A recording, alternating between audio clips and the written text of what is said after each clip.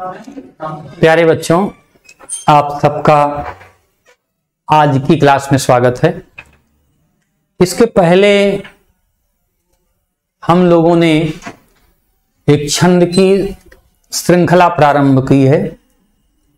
छंद के विषय में पढ़ना शुरू किया है। आज हम लोगों का टॉपिक है सोरठा छंद। तो सोरठा छंद के विषय में आज हम लोग पढ़ेंगे। और सोरठा छंद के विषय में बातें करेंगे।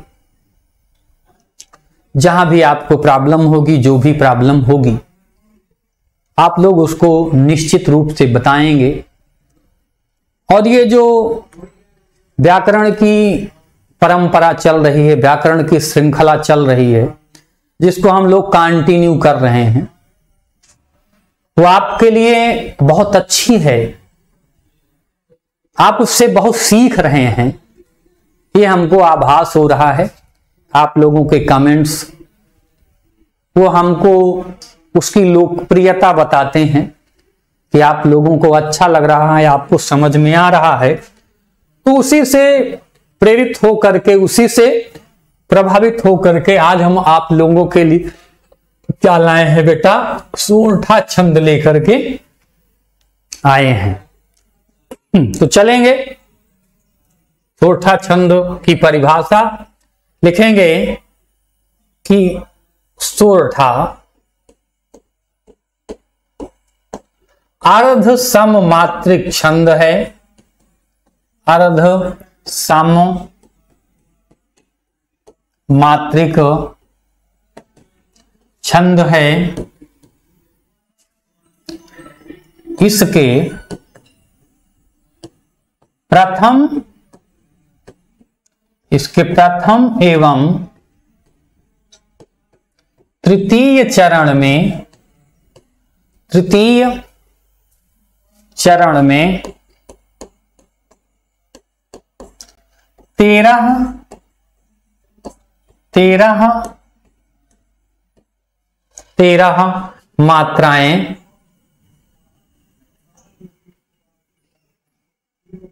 इसके प्रथम में, तेरह नहीं भाई, क्या होगा? ये तो दोहा का लिख रहा ग्यारह ग्यारह मात्राएँ। ग्यारह ग्यारह मात्राएँ, जबकि जबकि द्वितीय एवं चतुर्थ चरण में द्वितीय एवं चतुर्थ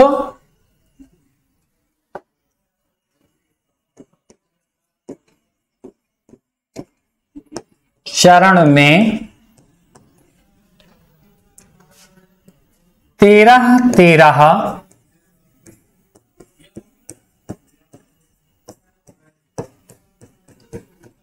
मात्राएँ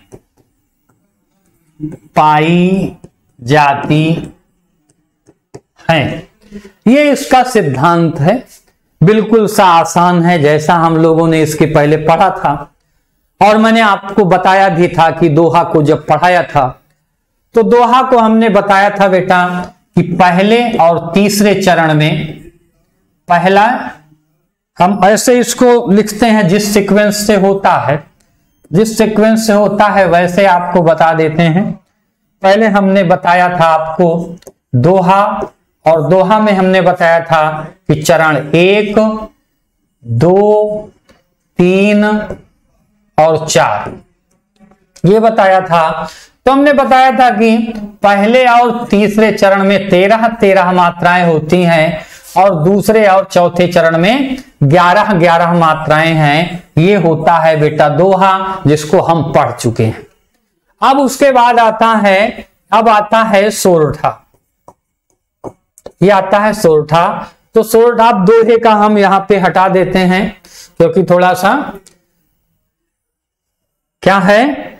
थोड़ा सा हमें लगता है कि इसको हटा देने से आपको पर्याप्त जगह मिल जाएगी। जब पर्याप्त जगह मिल जाएगी, आप क्या हो जाएगा भाई? आपको समझ में आ जाएगी। वो तो याद दिलाने के लिए, ध्यान दिलाने के लिए हमने आपको कहा है। अब आते हैं सोरठा पर।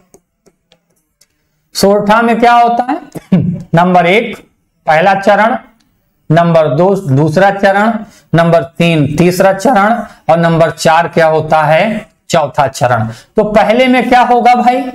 पहले में ग्यारह मात्राएँ दूस, दूसरे में तेरह मात्राएँ तीसरे में ग्यारह मात्राएँ और चौथे में तेरह मात्राएँ। तो इस तरीके से केवल यहाँ पर एक परिवर्तन आया है दोहा और सोरठा में। क्या हुआ है कि बेटा दोहा में दोहा में पहले और तीसरे में तेरह मात्राएँ होती हैं सोरठे में ग्यारह मात्राएँ होती हैं और यहाँ पे क्या होता है? ये सोरठे में तेरह मात्राएँ होती हैं। तो मात्राओं का परिवर्तन होता है। अब परिवर्तन अगर है तो उसको हमें ये हम बता दिए, दोनों में तुलनात्मक तरीके से बता दिए हैं। और आपको कोई कंफ्यूजन ना हो, इसके लिए हम फिर से हटा दे रहे हैं। और हटाते हुए आपको फिर एक बार बता रहे हैं कि बेटा क्या होता है? वास्तव में क्या होता है? अब इसकी परिभाषा हम एक और तरीके से भी लिख सकते हैं। इस परिभाषा को भी हटा देते हैं, दूसरे तरीके से लिख सकते हैं, जैसा कई जगह आपको लिखा हुआ मिलेगा। तो उसमें क्या है? देखते हैं, ध्यान से फिर देखेंगे। लिखेंगे कि यह यह दोहे का, यह क्या होता है? दोहे का उल्टा होता है, ऐसे भी लिखा मिलेगा आपको। दोहे का उल्टा होता है,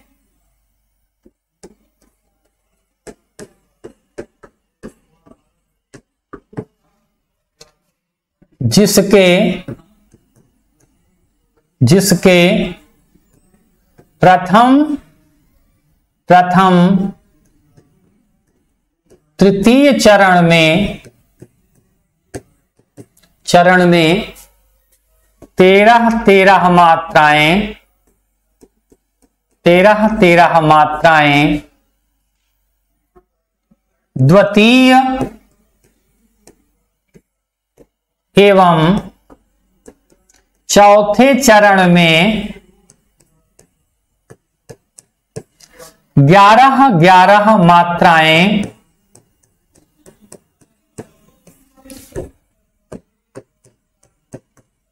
होती हैं। यहाँ अर्ध सम मात्रिक छंद है। ऐसे भी लिख सकते हैं। हाँ, लिखने के कोई भी तरीके हम अपना सकते हैं, कोई दिक्कत नहीं। अब आते हैं हम लोग आगे उदाहरण की बात।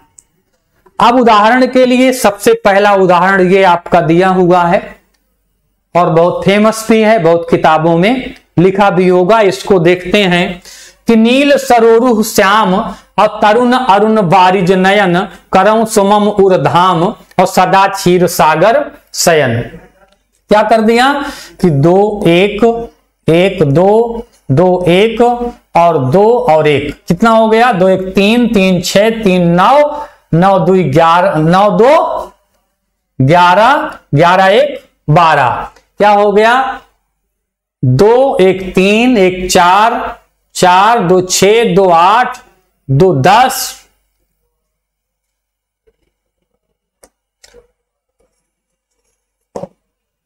दस एक ये कितना हो जाएगा बेटा?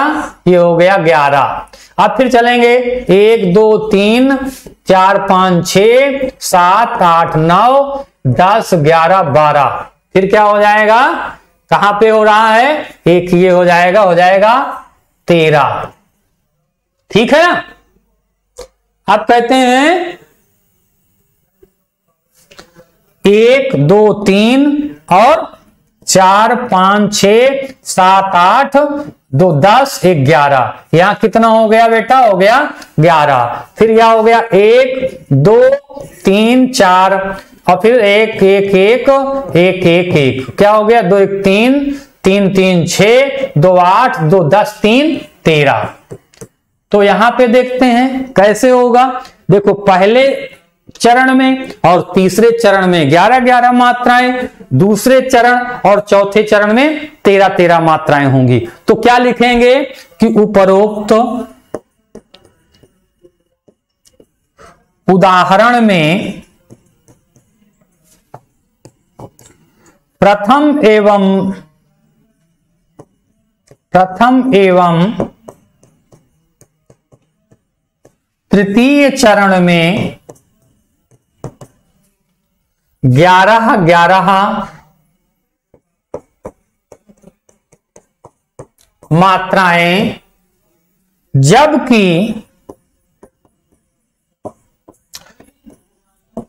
द्वितीय और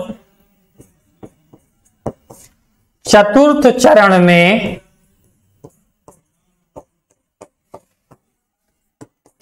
तेरह तेरह। मात्राएँ प्रमाणित होती हैं। अतः यहाँ सोरठा, छंद है। ठीक है जी? ये हो गया इसकी परिभाषा, ये इसका उदाहरण। और ये मात्रा लगाना और मात्रा लगाने के बाद स्पष्टीकरण। इतनी चीज़ें आपको एग्ज़ाम में, परीक्षा में लिखनी है। ठीक है? ओके। आगे चलते हैं। अगले उदाहरण को लाते हैं। अगला उदाहरण है कि राम स्वरूप तुम्हार बयन अगोचर बुद्धि पर अविगत अखत अपार नेति नेति नित निगम कहा। तो क्या है? दो एक एक एक एक एक, दो, एक। कितना हो गया? तीन तीन छ और तीन, नौ, एक, दस और एक यहाँ पे ग्यारह। फिर क्या हो गया? आगे चलते हैं। एक एक एक एक और दो, एक एक एक एक हाँ एक, दो, एक एक। तो चार, दो छ दो, आठ, दो, दस, तीन, तेरह हो गया। आगे चलते हैं। एक एक एक एक एक एक एक एक, दो, एक। कितना हो गया? कि दो दो, चार, दो छ दो, आठ, दो, दस, एक। ग्यारह हो गया भाई। अगला चलते हैं कि एक, तीन तीन छ सात, आठ, नौ, दस, ग्यारह, बारह, तेरह। यहाँ कितना हो गया भाई? यहाँ पे हो गया तेरह मात्रा। अब यहाँ पे भी उसी तरह से लिखेंगे। क्या लिखेंगे? क्या लिखेंगे? कि उपरोक्त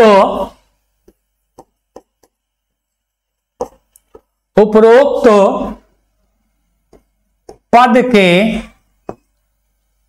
प्रथम एवं प्रथम एवं तृतीय चरण में तेरह मात्राएँ, जबकि द्वितीय और चतुर्थ चरण में द्वितीय एवं चतुर्थ चरण में ग्यारह। भैया, यहाँ पे तेरह और क्या हो जाएगा? द्वितीय और चतुर्थ चरण में तेरह मात्राएँ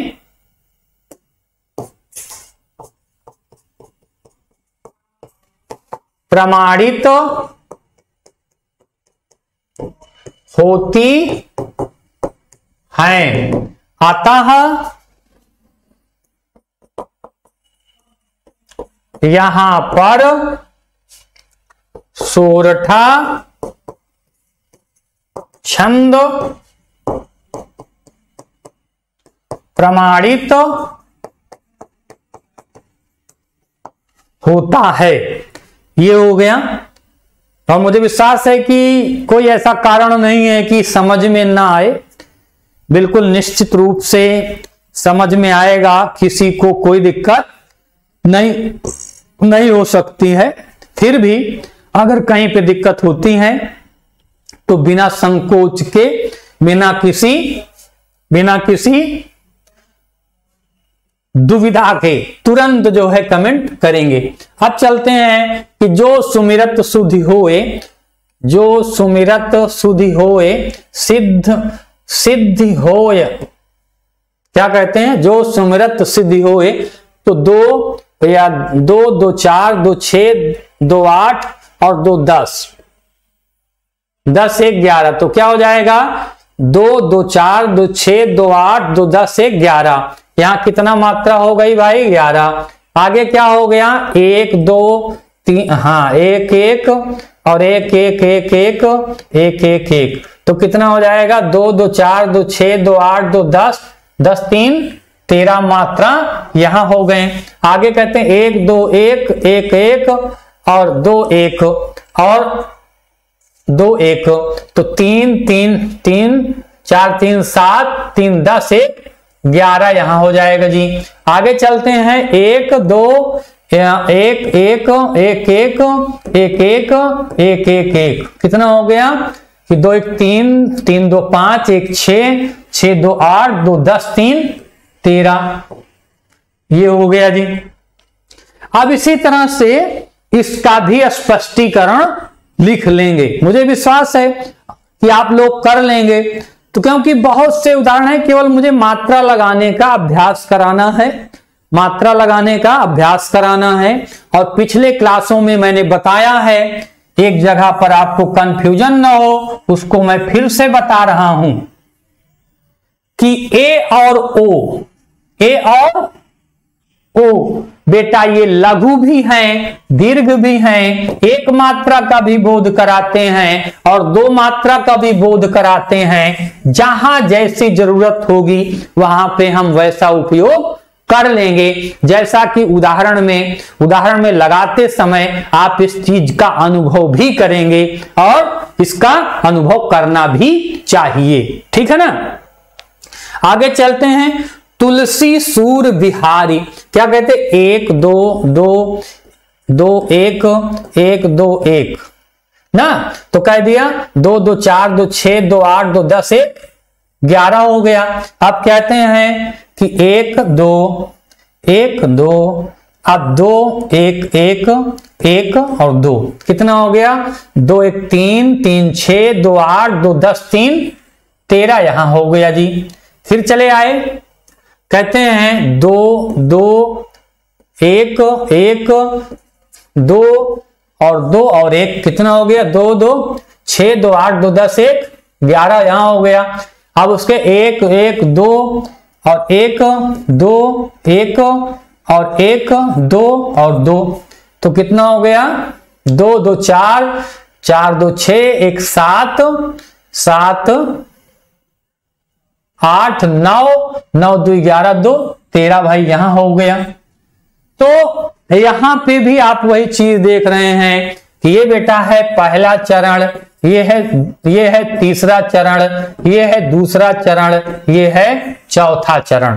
क्या होता है कि पहले तीसरे में कितना है? ग्यारह ग्यारह मात्रा है। दूसरे और चौथे में तेरह तेरह मात्रा है। तो हमें यह नहीं लगता है कि कहीं पे भी अब किसी भी तरह का कोई कंफ्यूजन रह सकता है। कभी हो नहीं सकता है, लेकिन फिर भी क्योंकि आपको ज़्यादा से ज़्यादा प्रैक्टिस कराना, ज़्यादा से ज़्यादा पढ़ाना, ज़्यादा से ज़्यादा समझाना, हमारा सबका, पूरी टीम का ये उद्देश्य रहता है तो उसी उसी को ध्यान में रख करके आपके लिए ये विषय लाए गए हैं। तो हम लिख देंगे स्पष्टीकरण। स्पष्टीकरण ये लिखा हुआ है और लिखेंगे कि उपरोक्त पद में, लिखेंगे, उपरोक्त पद में प्रथम और तृतीय, ऐसे लिख देते हैं, प्रथम एवं तृतीय चरण में, प्रथम एवं तृतीय चरण में ग्यारह मात्राएँ जबकि जबकि द्वितीय एवं चतुर्थ चतुर्थ चरण में तेरह मात्राएँ पाई जाती हैं। अतः अतः यहाँ पर यहाँ पर सोरठा, छंद, प्रमाणित होता है। ठीक है जी।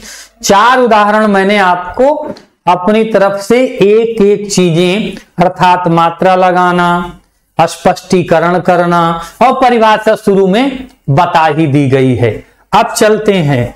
अब अगला उदाहरण ये है।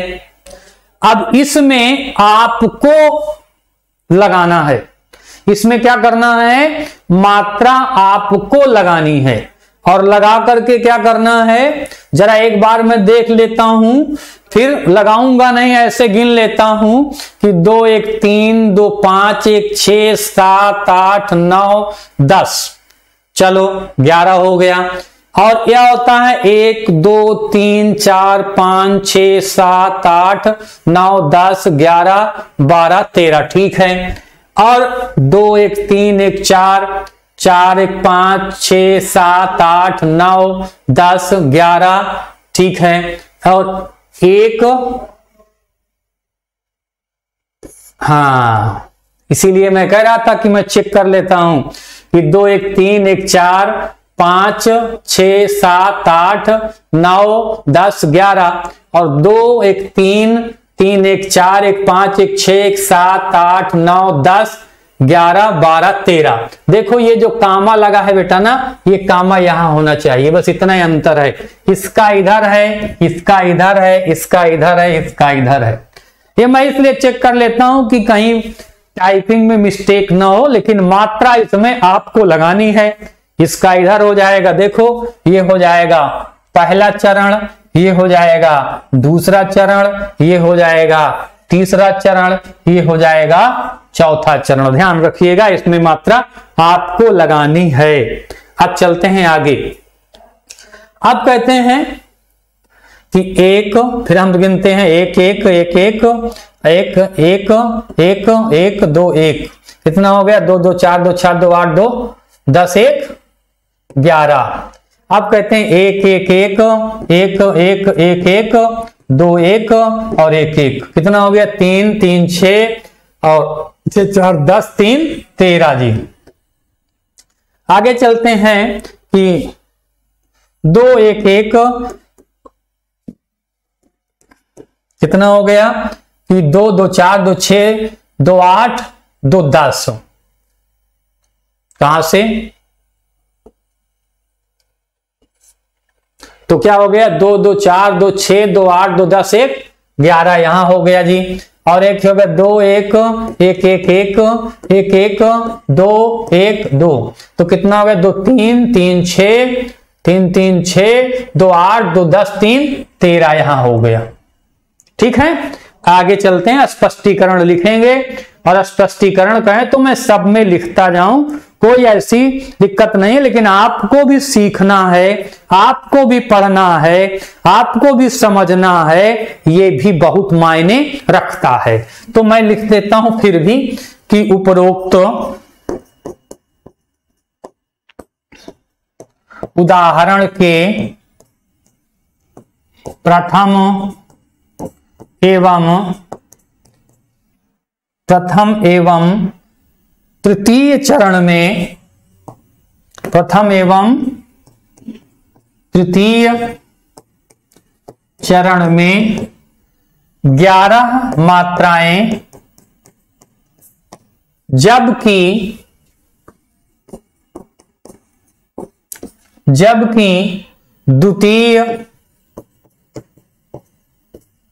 एवं चतुर्थ चरण में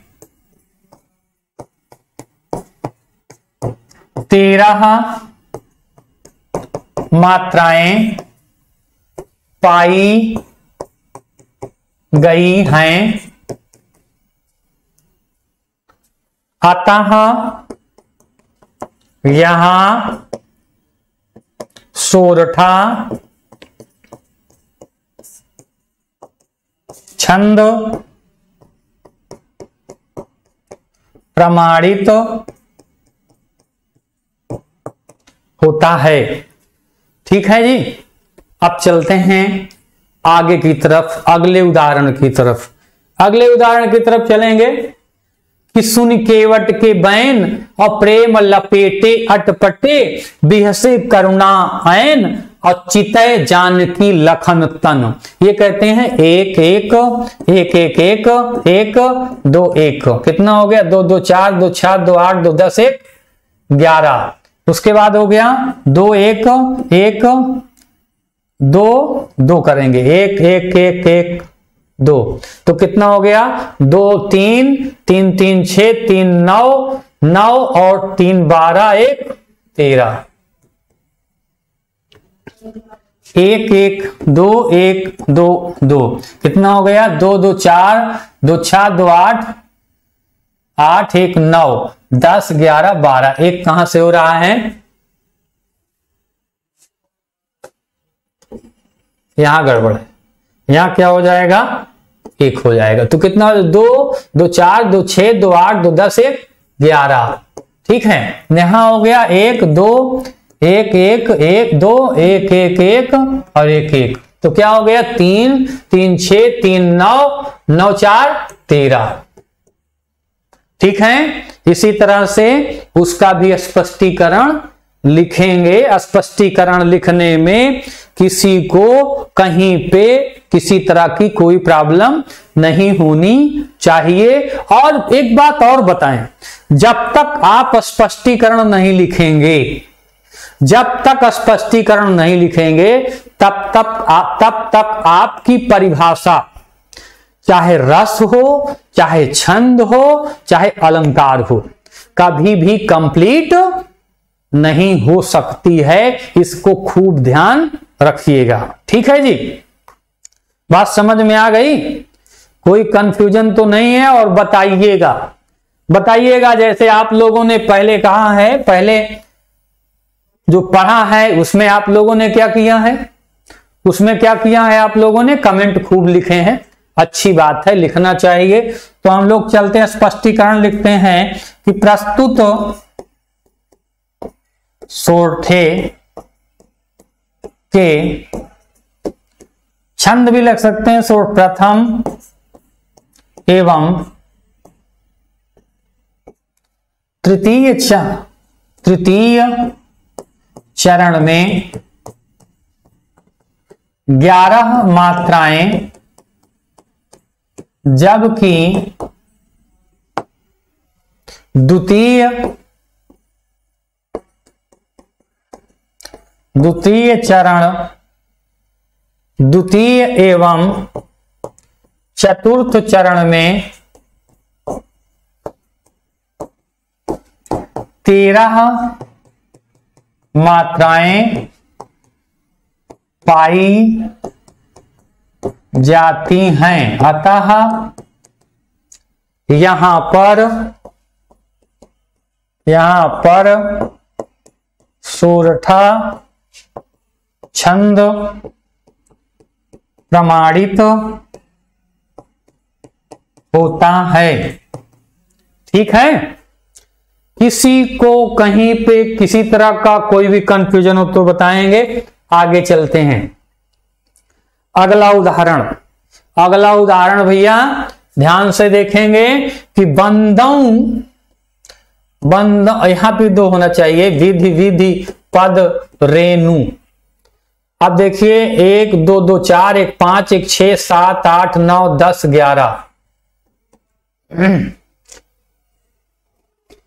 फिर क्या कहते हैं? एक एक, दो, एक एक, और एक एक एक। और फिर दो दो, या। फिर क्या कह दिया? दो दो, चार, दो छ दो, आठ, दो, दस, दो, बारह, दो। कैसे कह रहे हैं भाई। दो दो, चार, दो छ और एक ये सात, और एक ये आठ, नौ, दस, ग्यारह, बारह। ये कहीं गड़बड़ है। भव सागर जिह कीन यह। बंदों विध पद रेणु, भाव सागर जिह कीन यह एक बार फिर से गलत, इसको देखते हैं भाई। क्यों मात्रा बढ़ रही है इसमें?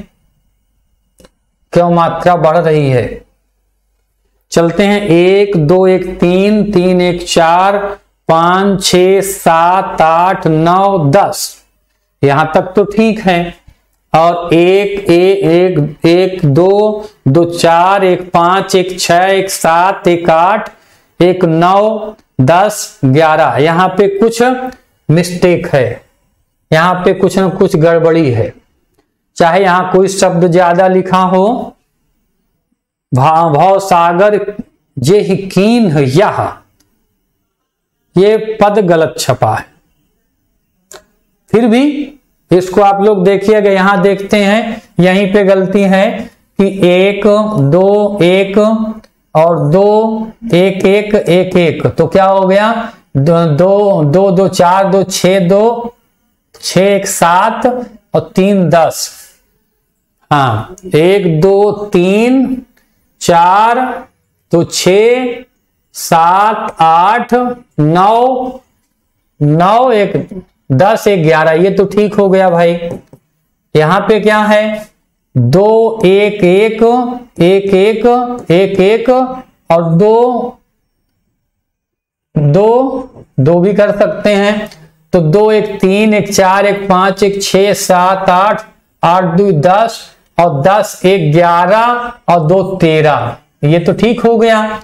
और यहाँ पे क्या है? एक, अब दो, एक एक एक एक एक और दो एक।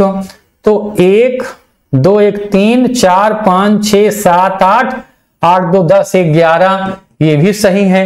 हमको लगता है ये शब्द एक्स्ट्रा लगा है क्या? फिर देखते हैं, एक एक, दो, एक एक और एक एक, दो और दो। तो कह देते हैं, दो दो चार, दो छ दो आठ, दो दस, दो बारह। यही बिल्कुल हमको लगता है कि ये शब्द जो है, यहाँ पे एक्स्ट्रा लिख दिया गया है। अगर ये शब्द एक्स्ट्रा है, तभी ये सही हो सकता है। लिखने में गड़बड़ी हो गई टाइपिंग में गड़बड़ी हो गई है, बिल्कुल यही हो सकता है और कोई कारण नहीं है। अच्छा एक बात मैंने ये भी देखी है कि जल्दी से पद के अंत में ऐसा नहीं होना चाहिए। ठीक है? कोई भी जितने भी सोरठा हैं, देखिए तो इसके पहले हम लोग आते हैं। एक चीज़ और आपको दिखाते हैं। तो जितने भी दोहा हैं या जहीं भी देखे होंगे, अंत में यह आने का कोई प्रश्न हमको नहीं लगता है। फिर भी आप लोग एक बार देखिएगा, इसको भी चेक करिएगा। हालाँकि ऐसा ही होना चाहिए जहाँ तक हमारा अंदाज़ा है। यहाँ पे गलत टाइपिंग है और कोई बात नहीं है।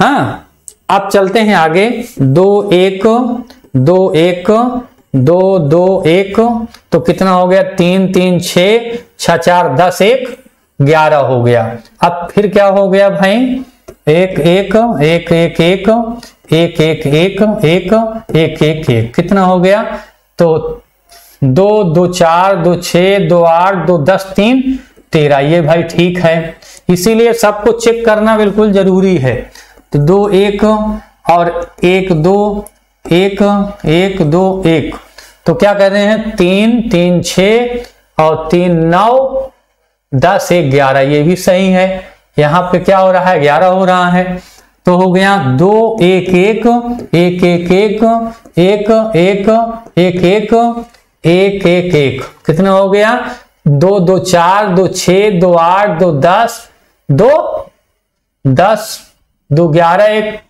ये कहाँ से हो रहा है?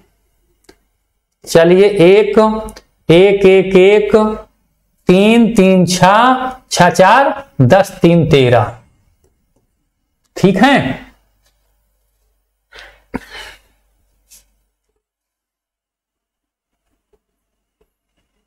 अब इसी तरह से यहाँ भी स्पष्टीकरण लिख लेंगे। अब अगला आ गया।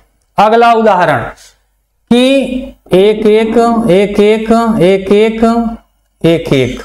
दो भी कर सकते हैं तो दो दो, चार दो चार, दो, आठ। आठ एक, नौ। और यहाँ जो है ये कुंद के कारण हो जाएगा तो दो, एक, तीन तीन छ दो, आठ, दो, दस, एक, ग्यारह। एक, दो, एक एक एक एक, और एक दो, एक एक एक एक। कितना हो गया? तीन तीन छ तीन, नौ।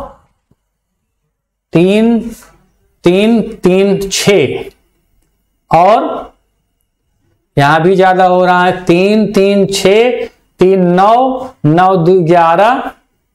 करुणा यतन, उमा रमा, उमा रमन, करुणा यतन। यहाँ पे ज़्यादा हो रहा है। यहाँ पे भी ज़्यादा हो रहा है जी। चलो भाई, इसको देखते हैं। एक बार फिर से चेक करते हैं। तो दो एक तीन, चार पाँच छ, सात आठ, नौ दस। ग्यारह।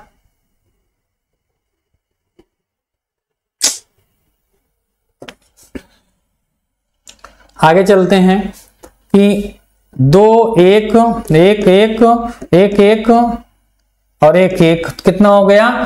तीन तीन छ, दो आठ और दो दस। दस एक ग्यारह तो तीन तीन छ दो आठ, दो दस, एक ग्यारह, यहाँ ठीक है। और एक एक एक एक हाँ एक लगाना है भाई। यहाँ कितना है? एक एक, दो, एक, और दो, एक एक एक एक, कितना हो गया? तीन तीन छ तीन, नौ नौ, एक, दस, और दस, तीन, तेरह। कहाँ से हो रहा है? अच्छा उमा रमा है, रमन नहीं है हमको लगता है। उमा, रमा, करुणा, यतन, अगर इसको हम रमा कर देते हैं, तब क्या हो जाएगा कि एक, दो एक, दो, और ये हो जाएगा करुणा। तो करुणा में हो जाएगा एक एक, दो, और हो जाएगा एक एक एक। अगर इतना है तो फिर तो सही है भाई। कि तीन तीन छ दो, आठ और दो दस दस तीन तेरह। यही है, जहाँ तक उमा रमन नहीं है। ठीक है ना? ये पद में यहाँ पे गड़बड़ी है। इसको मैं आपको मतलब ये सोच करके कि ये है, इसको मैं फिर से आपको बता रहा हूँ। देखो, यहाँ पे पद में गड़बड़ी क्या है कि है उमा, रमा करुणा और यतन। ये शब्द है। ठीक है ना? इसको हम क्या करते हैं? इसको कैंसिल कर देते हैं। इसको हम क्या कर देते हैं? इसको कैंसिल कर देते हैं। अब मात्रा लगाएँगे तो आएगा बेटा। एक, दो एक, दो और एक एक, दो और एक एक एक। तो क्या हो जाएगा? तीन तीन छ दो, आठ, दो, दस, तीन, तेरह। अब ये सही हुआ है। यहाँ पे इस, ये शब्द जो है, गलत टाइप हुआ है। अब देखिए, उमा रमा, रमन नहीं होता। रमन का मतलब क्या हो गया? विष्णु भगवान हो गया। और रमा का मतलब हो गया, लक्ष्मी माता हो गई। ठीक है ना? उमा, रमा। उमा माने पार्वती की बात कर रहे हैं। और रमा की बात कर रहे हैं, लक्ष्मी की बात कर रहे हैं। इसलिए यहाँ पर यही शब्द होगा। ठीक है? चलते हैं आगे। अगला जो है, अब ये आपका जो इस पद में, जैसे कि मैंने पहले आपको छोड़ा है, एक पद, इस पद में मात्रा आपको लगानी है। इस पद में मात्रा आपको लगानी है, लेकिन मैं एक बार चेक कर लूँ। कहीं ऐसा ना हो कि फिर कुछ गड़बड़ हो, इसलिए बिल्कुल देख करके, क्या है कि दो एक दो दो चार चार दो छ दो आठ और दो दस, एक ग्यारह ठीक है, एक दो, तीन, चार, पाँच, छ, सात, आठ, नौ, दस, ग्यारह और एक बारह, एक तेरह ठीक है। तो दो एक, दो, तीन, मान चार, पाँच, छ, सात, आठ, नौ, दस, आठ, नौ, दस, ग्यारह। एक, दो एक, दो एक दो तीन चार पाँच छ सात आठ नौ। यहाँ भी कुछ चलते हैं। आ, एक दो तीन चार पाँच छ सात आठ नौ दस ग्यारह बारह तेरह। एक, दो, तीन, चार तीन, चार, पाँच, छ, सात, आठ। यहाँ पे भी कुछ गड़बड़ है।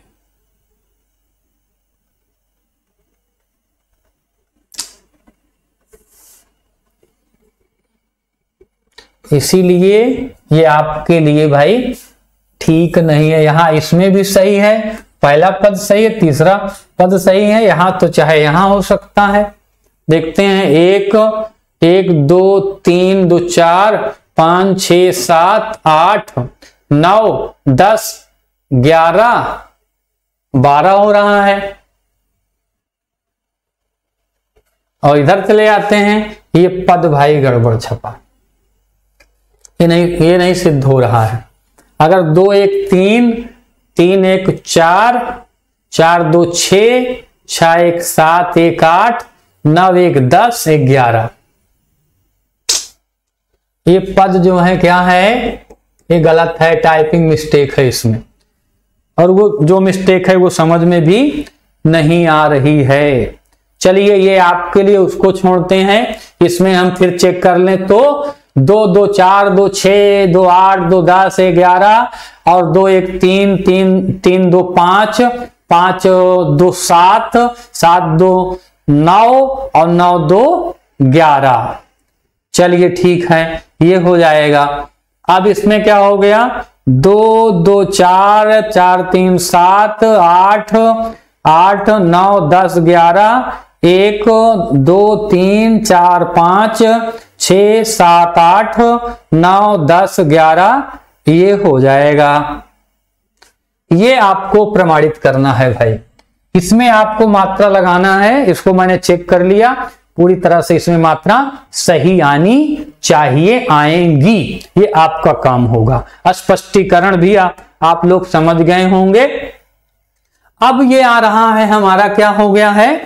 अब ये अंतिम पद है जिसको मैं आपको बताऊँगा। फिर क्या कहते हैं? एक, दो, एक एक एक और दो, एक एक, ना? और एक, कितना हो गया? दो एक दो, एक, तीन, दो, पाँच, एक, छ छ, दो, आठ आठ, दो, दस, एक, ग्यारह। ये सही आ रहा है, देखिए। अब क्या हो गया है? दो, एक और दो दो, एक दो एक। दो दो होगा भैया। तो दो क्या है? दो दो चार, दो छ दो आठ, दो दस, दो बारह, एक तेरह, ये भी सही आ रहा है, देखिए। तेरह लिखना है जी। तेरह। तो फिर एक एक एक, दो एक दो, एक। और एक, दो, एक एक। तो क्या है? दो दो चार, एक पाँच पाँच, एक छ दो आठ आठ, दो दस। उड़ गई सुगंध चंदन यहाँ भी गड़बड़ है। इस पद में भी गड़बड़ है। यहाँ चलते हैं दो दो चार, एक पाँच, दो अच्छा चलिए दो, एक, दो, क्या हो रहा है? दो दो चार, एक पाँच, दो सात, एक आठ, एक नौ, दस, ग्यारह। ये पलट के इधर आ गया है भैया, और ये पलट के इधर आ गया है। समझ गए? इसको यहाँ लिखना चाहिए था। ध्यान से देखिए। अब देखिए, पकड़ में आ गया कि भैया, हमारे टाइपिंग जी ने कहा, गड़बड़ी की है। इसको कर दिया है ग्यारह, इसको कर दिया है तेरह। इसीलिए है ये। कैसे? देखिए, ध्यान से। एक एक एक, दो और ये क्या हो गया? एक, और एक एक, और एक, दो, एक, और एक। ये क्या हो गया है? एक, दो दो दो, तीन तीन, दो, पाँच, एक, छ, सात, आठ, नौ, दस, ग्यारह, बारह, तेरह। तो क्या हो गया है? ये मात्रा क्या हो जाएँगी? ये मात्रा क्या हो जाएगी? तेरह हो जाएगी। कहाँ हो जाएगी?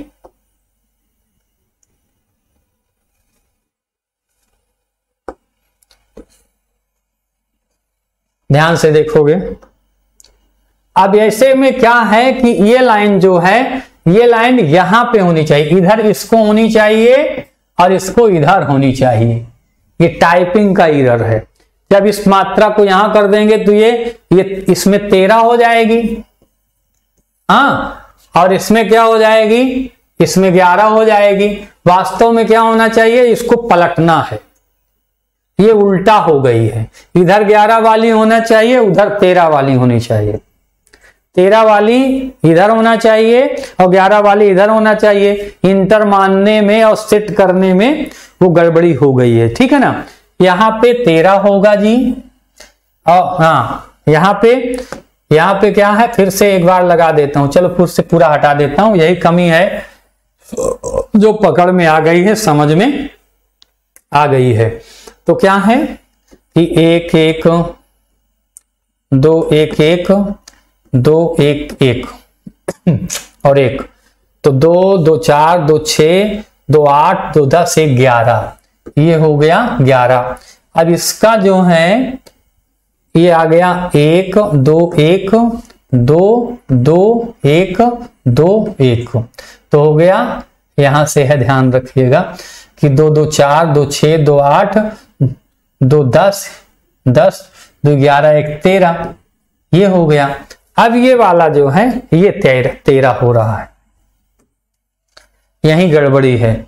क्या है? एक एक एक एक एक, और एक, दो एक दो, एक एक।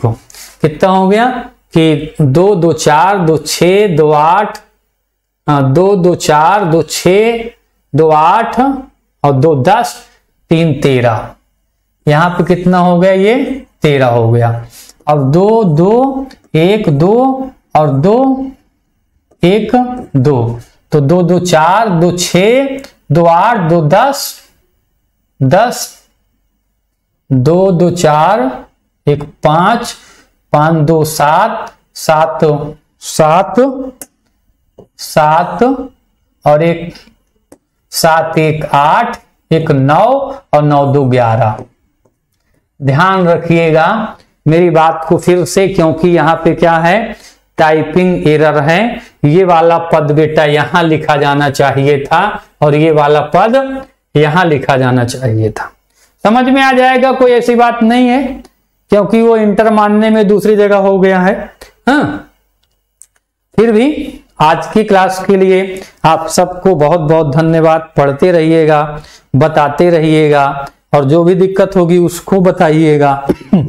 हमें नहीं लगता है कि किसी को कोई प्रॉब्लम हो सकती है और ये मात्राओं की व्यवस्था ही इसीलिए की गई है कि जैसे ही मात्रा लगाएँगे ना जहाँ जो गड़बड़ी होगी ना, वो समझ में आ जाती है, पकड़ में आ जाती है। खैर, आज की क्लास के लिए आप सबको बहुत बहुत धन्यवाद बहुत बहुत आशीर्वाद बहुत बहुत शुभकामनाएँ। Okay, thank you bye bye